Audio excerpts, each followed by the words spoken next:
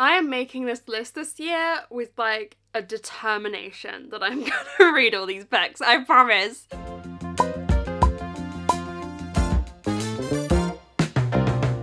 Hello my friends, welcome back to my channel. Today we're going to be doing the 23 books I have to read in 2023, my 2023 TBR. I love making this yearly TBR. It's always a year highlight for me. I love it. I love just sitting down thinking, oh, what are some of the books I'm gonna read this year? What am I gonna read? It's gonna be so exciting. Yes, I don't always read all the books, but I'm determined this year. I feel like we are going to read quite a lot of these, if not all. lies, lies, and more lies, and lies on top of lies. I reacted to my 2022 TBR in December and I read 13 of the 22 that were on that list. So I read, I think it's 59%. I feel like we're going to do better this year. I've thought strategically. There's mostly books that aren't going to be a challenge for me to get to. There's a few that are, but they're not that big a challenge. There's no there's no classics, don't worry. A lot of these I will just have to put a picture up because they're either new releases that are not out yet or they're ones that are wrapped up because if you remember there was a lot that were wrapped up that I I was most excited to read. So there's a lot of them that I want to put on this list too. So shall we just get into it? We've got 23 books to talk about that I am definitely going to read this year. Keep the faith. And I'm so excited to chat about all of them, so let's get into it. So I've separated this into a few different categories. The first category is by far our biggest one, and that is 2023 releases. So I was thinking strategically, and I was thinking about how I want to read more 2023 releases than I ever have read new releases in a year. That's something I really want to focus on and try and uh, prioritize. And I noticed when I did these lists previously, I would put almost no new releases on the list, or I would put like three maybe. There's eight on the list this year, so that's definitely the most I've ever had. This is some of the new releases that I am most excited for. So two I already have my grabby little paws on.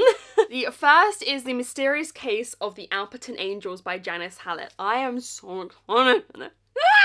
Take a deep breath, calm down. Janice Hallett, I feel like, is one of the most unique kind of murder mystery mystery authors around at the moment. Her books are just fun. They are mixed media. We all know I love mixed media. And I really had a great success with The Twyford Code, which was her new release, I think, last year. This is her new release this year. Her books always tend to come out in January here in the UK. This one I'm really excited for because it's a mix of mixed media. Her previous two books, The Appeal and The Twyford Code, have been one type. So The Appeal was all emails, The Twyford Code was all voice notes. Whereas this one is a mix of texts, of scripts, of interviews, of emails, like so many different things. We're following the Alperton Angels, who were a cult that I think convinced a young girl that her baby was the Antichrist or something. And we're following, uh, many years later, a true crime author who has found, I think, a box of materials about the Alperton Angels and is kind of going through them and is trying to write this new book. I think there's also a rival who's trying to write the book as well. I am so excited. I've had really good things from everyone who's been reading this and I just have good feelings. I have really, really good feelings. And then I also had to put on the list Hellbent by Leigh Bardugo. I am so jealous of everyone who is reading this. I have seen so many people reading it and I d I don't know when I'm going to get to it. Here's the thing, right? I initially was like, oh, I'm definitely going to reread Ninth House before I read this because I haven't read Ninth House since 2019, okay? But then when I opened this, I got this feeling of like, you know, when you haven't been able to make progress in a series for so long and you open the new book and you like, you want that to be your reintroduction and diving into the world again. I worry this wouldn't feel new enough if I reread Ninth House before. So please let me know in the comments what you think I should do. Should I reread Ninth House, then read this, or should I just read maybe a recap, like an in-depth recap of Ninth House, and then read this? I'm not sure. So please let me know what you think. But in this, we are following Alex Stern, who goes to Yale. She gets this kind of deal to go to Yale to kind of keep keep tabs on all the magical secret societies that exist in Yale. Spooky ooky, kooky, and creepy. We have Darlington, who's kind of the guy who's helping her through this. The first book, Ninth House, also has kind of like a murder mystery element that spurs on the plot, but in this one, we're hellbent, baby. I don't want to say anything because I don't want to spoil anything for Ninth House, but I was one of the people, a fair few, no, a lot of people loved it, but I loved Ninth House. I loved it. It was a five star. It was my first introduction to Leigh Bardugo. It was the first book I ever read by her. And now I've read almost all of her books. God, what a journey we've been on, Lee. I just can't wait for this. I'm so excited. Also, I love the cover. I know that's an unpopular opinion. I love how weird it is. I love it. Okay, but the other six are ones that I don't own yet, and I don't know the plots as well, so we'll go through them quickly. I might need to get my phone for some of these. So number three is Yellow Face by R.F. Kuang. So excited. R.F. Kuang has become one of my favourite authors. Babel Babel was my favourite book of last year. This one, I don't think is a fantasy. It's more of a like contemporary commentary book about the publishing industry. I think it's about a uh, white publisher author or someone working in publishing who steals a manuscript and then pretends to be an author of color to like promote her book. I think R.F. Kuang has been very vocal about publishing rights and ethics in publishing and racism in publishing. So I'm really excited for this and I'm really excited for her first like non-fantasy book. I love her writing. I love the intelligence with which she approaches her writing. I think she's one of the most clever writers out there at the moment. And I don't know what to expect because of course it is our first non-fantasy, but I am very excited. Number four is Lost in the Moment and Found by Seanan McGuire. This is the next in the Wayward Children series. I have just been this weekend rereading the Wayward Children series for a vlog for my patrons. Oh my god, this series is incredible. If you don't know, it's a series about kids who go into these portal worlds and they find these worlds that are perfect for them. And I've heard that this one, Lost in the Moment and Found, I think we're following a girl who lives in this world where lost things go, but then she gets lost herself. And from my understanding, this is going to be one of the heaviest books that we've dealt with within the Wayward Children series. They, they always focus on difficult topics whilst keeping this kind of fairy tale like quality to the writing, but they do do a really great job of tackling difficult topics. So I don't know what to expect from this, but I have just loved rereading this series. But yeah, I am excited, especially since rereading the series this week. We also have In the Lives of Puppets by TJ Klune. So this one is one I've pre-ordered this one as well. I know the plot as well. We're following puppets. We're, Very strange. uh, we're following these like robots. and then I think the dad of the robot family gets taken away. I don't really know. I like to go into TJ Klune's books really not knowing much because I feel like he builds up this fantastical world and this novel idea. You know, I feel like Under the Whispering Door, I'd never read a book like that. And I went into that book not knowing much and it really paid off well. Again, I feel like it's this resurgence of cozy fantasy I'm definitely really into. I actually don't have too many cozy fantasy books like on my docket, on my to read. So I would love recommendations. I don't have too many. TJ Klune's writing is always magical, whimsical, cozy, again, kind of tackling the, the core of human issues. I feel like especially in Under the Whispering Door, that really like got me in terms of like life. So I wonder what life lesson this one is going to be trying to teach. We also have Love Theoretically by Ali Hazelwood. Ali Hazelwood is my favourite romance author. I gave The Love Hypothesis five stars. It's one of the only, maybe the only romance book I've ever given five stars. And I gave Love on the Brain 4.5, but like it was probably a five. this one is Academic Rivals, which I'm excited to see from Miss Ali. Again, we're following scientists. I just know that they're kind of like rival physicists or something. I think it is fake dating again, which was the love hypothesis. I'm surprised to see her doing that trope again because her books are so like trope specific. I'm surprised to see her do that again so quickly, but there's just something about her writing that I love. Here's the thing, right? Let me put my phone down. I know that Ali Hazelwood's writing is not for everyone. You may read it. I feel like people who don't like it read it and go, well, something's missing. Something's a bit strange about the writing. It's because it reads like fanfic right? And as someone who grew up loving fanfic, I love it, okay? It takes me back to the days of reading fanfic. I love it, right? But if you don't love fanfic, you probably won't love Ali Hazelwood. And then I have two books that are very, very similar to each other. So we have The Last Word by Taylor Adams, which I am, you know, he wrote one of my probably my favourite thriller of all time, No Exit. I think it is one of the best thrilling thrillers of all time. And I'm ready to forgive him for betraying me with Hairpin Bridge, okay? We're just pretending that didn't happen. But I'm not one of those people that forgive and forget. I'm one of those people that fucking take score. the last word, I think, is about a book reviewer who writes a negative book review and then feels like maybe the author is a little bit like really, really upset over this negative review and perhaps stalking her. And she lives in a very remote place, and perhaps the author has found where she lives and is coming to stalk her. It hits a little bit close to home. I'm really hoping this will go back to what I love about Taylor Adams and it will be tense, it will be high stakes, it will be crazy, it'll be ugh, making me feel sick. I'm really hoping. And I feel like the premise is such a fun premise. He knows what he's doing, right? He knows he's appealing to a reader with that premise. The same with my last 2023 release on the list, which is The Writing Retreat by Julia Bartz. This is a debut and it's about a group of characters who go to this writing retreat and I'm gonna read the synopsis. When they get there, a bombshell is dropped. They must all complete an entire novel from scratch during the next month, and the author of the best one will receive a life changing seven figure publishing deal. And I think, you know, murderousness starts happening, thriller, craziness. I'm really, really excited for this one. Again, this is appealing to readers, right? I'm I'm excited! I'm so excited. This is so much fun to me. You know, I think the writing author aspect so much fun. Like, oh, I love books that are like self-referential and about books and about writing, and I think these two are just gonna be so much fun. Oh Okay, that is the end of the 2023 releases on this list. Now let's get into the 2022 releases. There's a few that I really want to get around to that I have not yet, yet, yacht, yacht? I have not yet gotten around to. I have not yet gotten round to. The first of which is The Daughter of Dr. Moreau by Silvia Moreno Garcia. I know I'm going to be reading this this year. I have a plan for a video that will probably come out around March time. I feel like I'm going to be doing this. I am so excited about this. We are following the daughter of Dr. Moreau. That's all I really know about it. I always say, right, I don't, again, Silvia Moreno Garcia is one of those authors I don't know too much. This book was written for me because one of my favourite literary characters ever I, what was that? Okay, James. is Catherine Moreau from The Strange Case, The Alchemist's Daughter series. She is like, she's not really the daughter of Dr. Moreau, she's more one of his creations, but it makes me even more excited to read this. And I feel like I've heard amazing reviews, and I just know that when I read this, and hopefully Mexican Gothic this year, me and Silvia Garcia will be besties.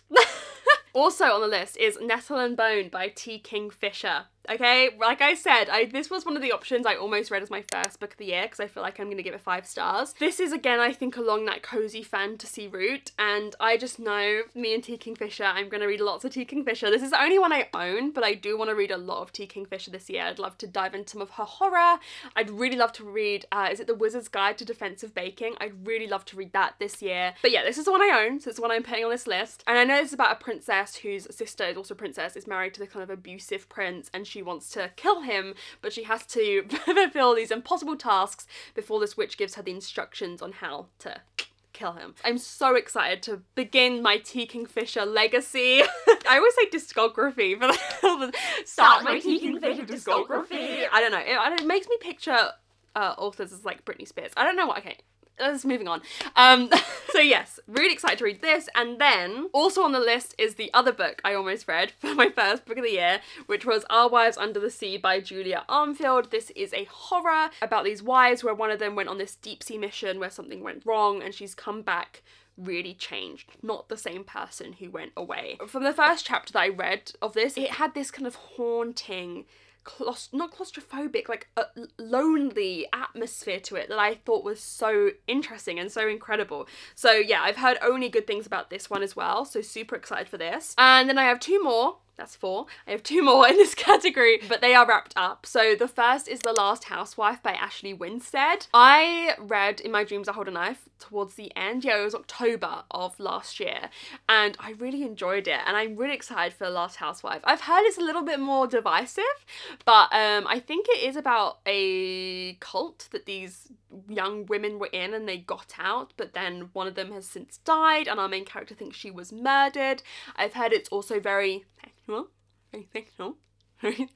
And I just really loved Ashley Winstead's writing, and I'm really intrigued to see what she does. I feel like she comes out with books that are very either like on trend, like I feel like In My Dreams I Hold Life was very on trend. I feel like her romance feels very like on trend, or books like this, which are like skewing uh, almost like I feel like predicting the trends of the future. I don't know, she definitely intrigues me as an author that I want to keep reading. And then the last one is one of the books I'm most excited to read and it is The Woman in the Library by Sulari Gentill. I'm really hoping that I unwrap this soon for wrapped up. We need this. This is essential. This is a crisis. I've heard mixed things, but from the people who have read it, who have similar reading tastes to me, I've heard great things. So this is a book within a book.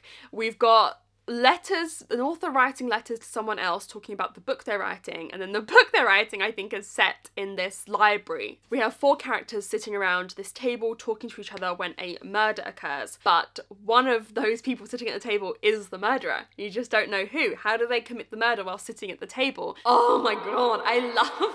I'm looking now as a lover of murder mysteries for ones that push the envelope a bit, that do something crazy and imaginative and different and push the boundaries, and this really feels like one of those. So, yes, I'm so excited. Those are 2022 releases that I am most excited for that I have not yet gotten round to. Next, we have series to finish, baby! We have a few series where I've got one book left and I would like to finish off the series by reading this book this year. Again, a few of these are wrapped up. So first we have Rule of Wolves by Leigh Bardugo. This would finish off the King of Scars duology. I did not love the first King of Scars. I'm gonna be honest. I would like to defend myself, but sadly, that's the truth. But I'm at this point now with the Grishaverse and Leigh Bardugo, like I just have to read it all, okay? I'm heavily invested. I'm waiting for Six of Crows 3 to come out in like 10 years because she said she's not going to write it for a while, which is fine. Lee, I love you. Take your time. I'll read anything from you basically at this point. And I know this book, Rule of Wolves, has a bit of a crazy ending that like, she keeps saying leaves the door open for Six of Crows 2. I'm like, what does that mean, Lee? What does that mean? But I do just want to finish Rule of Wolves to bish bash bosh, get the duology done, finish, move it on, you know? and then another duology that I want to finish is um the start, the Song of Wraiths and Ruin one, where the one I have to read is A Psalm of Storms and Silence. These titles, I always get like the different words. uh, something of something and something like mixed up. yeah, this is like an African inspired fantasy where we had these two characters in the first book who both had these objectives that they really desperately wanted to complete that meant they had to kill each other killing each other wasn't the desire, but it was like collateral damage. Like, sorry, bro. and I really enjoyed the first one. I thought it was pretty unique. So I would like to finish off this duology as well. I thought the writing was very lush and beautiful. And I thought it was a really solid YA fantasy. So I would really like to finish that. One that I'm hoping to finish this month. It is on this month's TBR Cluedo, but like, am I gonna do it? No, I feel like I am. Is the the what is this series called? The Themis Files series. I have to read Only Human by Sylvain Neuvel. I finally read the second in this series in December after not reading it for years, but I really enjoy this. I've heard terrible things about it. Okay, like I'm not not expecting a lot. But in this world, oh god, this this series is so difficult to pitch to you because like I can basically only tell you the plot of the first like 100 pages, if that, of the first book. A giant Giant hand is found. It's made of weird materials. Are we looking around the world for other parts that could exist of this strange, massive being that's made out of like materials we don't really know about? Hmm. I don't know what the fuck she's saying, but girl, I am living. So I can't tell you anything about what this final book is about. I've decided I'm not going to try and vlog it. I'm just going to read it and then review it in my uh, wrap up at the end of the month. It might end up being in, in February's. We'll see. We'll see. this is told through like interviews, audio files. So the audiobooks, in my opinion, are the best way to read this series. But I don't know. I don't know how that one's going to go. Then we have four series, that's eight. we have four series that I want to start this year. These are the series I really want to prioritize. If I'm going to start a series, these are the ones I have to start. And I really want to be mindful and like encourage myself to start these four and just not start too many others if I can't finish them. So I feel like you guys are going to yell at me. that still read this Finlay Donovan. We're reading it this year. I promise you I will read this at some point. I just feel like this has to be in a great video that a lot of you are going to watch because a lot of you are going to know my want to know my thoughts on this so I have to put it in like a top tier video that you're going to want to watch. Everyone loves this. Everyone tells me, Megan, how the fuck have you not read like the biggest mystery? on booktube in the year i don't know okay i know i'm just scared. I know we're following like this single mum she's kind of floundering in life and she's describing she's an author i think she's describing the plot of her latest book to her publisher in a cafe. Someone confuses her as a hit woman for hire and comes over and is like yeah can you kill my husband please.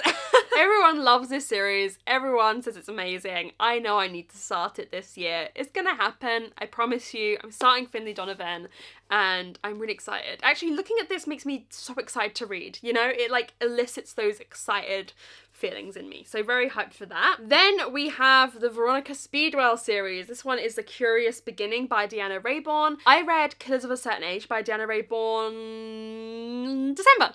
Why did that trouble me? I read that at the end of last year and I really loved the writing. I thought the writing was so good. I had so much fun. I had a few issues with like the book on its own. I feel like some of the characters weren't fleshed out enough, but like I can see that I would love I would love this series. And it's Victorian.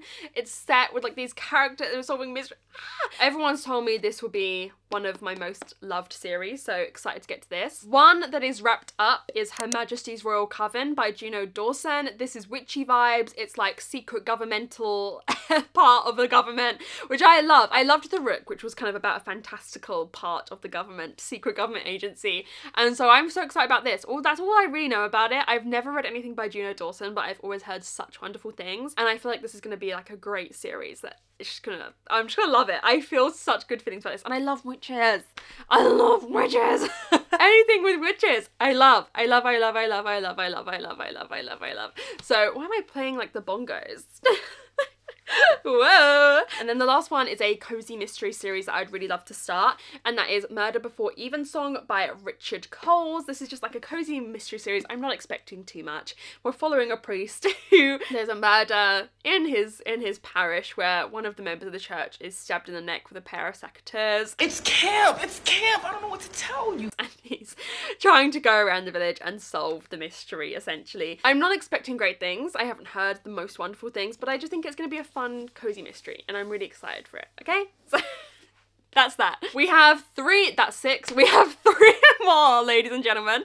Uh, we have three more, and these are all non-fiction I would like to read. I do want to try and prioritize falling back in love with non-fiction, fitting non-fiction into vlogs. Here's the thing, right? I know some people critique me, or not critique me, but like in the comments don't understand the way that I read. I just want to quickly spell this out for you very quick. When I say I haven't read this yet because it hasn't fit in a vlog, you think, oh, she's only reading things for vlogs. She's not reading what she actually wants. What I want to read is what fits in videos, because guess what? I love making videos. I love being creative. Making videos is a hob like a hobby of mine. I love what I do. I love making creative concepts and creative concepts for videos makes reading more fun for me. It's an added layer of fun. like people say reading is one hobby and buying books is another. For me, doing video concept is another one of those for me. Even before I had my booktube channel, I would never pick up the book I'm most excited to read. I would have a set TBR and I would probably slot it in at the end of the TBR that I'd already established and I would get to it when I get to it. I would never mood read, okay? So I'm just clearing that up for everyone. How I read makes me happy, okay? But non-fiction, I do find it harder sometimes to fit into the videos that I really want to make. The two hobbies, like sometimes buying books and reading books don't mesh well. These two hobbies sometimes don't mesh well. So I'm trying to be better at that. These are the three non-fictions that I would really, really like to get to this year. First on the witchy theme that we just spoke about is In Defense of Witches, Why Women Are Still on Trial by Mona Chollet. This I know was translated from French. It's about women being categorized as witches and kind of the perception of women as witches and how that has been this kind of stereotype. And I'm just so interested in this. I love how kind of like historical ideas, um, reading about how that kind of permeates through modern thought and I'm just I've heard such good things about this and I'm really excited. It's not too long either. It's really just over 200 pages. So it's a very quick one. And I feel like with my kind of interest in witchy fiction at the moment, this totally makes sense to read now and kind of give me another lens through which to view that fiction that I'm reading. Then we have a read that I know is going to be very difficult, but I mean, this is the highest rated book I have on Goodreads currently out of all like 220 books on my TBR. It is Know My Name by Chanel Miller. I I'm not ready to read this, and I don't want to say I'm excited to read this, but um, you know, I think this is a very important book to read. Chanel Miller was the um, anonymous person who was sexually assaulted by Brock Turner, and then she's eventually come out and shared her name um, and shared her story. And I've heard also that her writing in this is really wonderful. She was an English major at the time, and so I've just heard such wonderful things about it, and I think this is definitely one that I need to prioritize getting round to this year. And then our final book. This is the book I would say is the biggest challenge of the whole list for me this year. It is Harlots, Whores and Hackabouts by Kate Lister, A History of Sex for Sale. I am very interested in the history of sex for sale. I think for me, I am just interested in women's history. We can see the theme throughout the nonfiction that I read. That is really kind of my highest interest is reading about women throughout history and reading about women's rights and women's choices and women's lives throughout history. Now this one is a little bit, I say it's the most challenged because it's like a bit more I don't want I don't know what the correct word for this is, but like it's like non-fiction non-fiction, you know what I mean? This is a hefty book. and um, you know, it has all these pictures and this research and like it's really like it's a it's a book, you know what I mean? so I got this um Tom actually got this for me when we went out for my birthday last year and we're coming up again to my birthday. I've had this for a year. I feel like this is a book that's easy to put off because it is quite an intimidating non-fiction. But when you think about it, again, this is only like 230 pages and a lot of those pages have a lot of pictures on them. So I'm really, really excited and I think I'm interested to read about this topic from like this kind of academic perspective. So I really hope that I get a chance to read this this year as well. Okay, there we have it. That is my entire 23 books I must read in 2023. Let me know what you thought of any of these books if you read them. I want to know all your thoughts. I want to know what you're most excited for me to read, what you want my reviews on, what you've read aloud. I want to know all of it in the comments. Please let me know. Also, let me know how successful you're gonna I'm gonna be. Let's do it by percentage because every year this the TBR goes up one to fit in with the year. So um 59% was what I read last year. Do we think I can do it again? I think we can. Thank you guys so much for watching. If you've gotten to the end of the video, comment there. Oh, like angel wings. Is that like angel wings emoji? Mm. For the Alperton angels, I saw this display the other day of like in a Waterstones of these wings to go along with the book. Oh, the baby angel. Comment the baby angel emoji. That's the one I want. I knew there was something with angel wings in my brain. Comment that down below if you got to the end. Thank you guys so much for watching and I'll see you very soon in another video. Bye!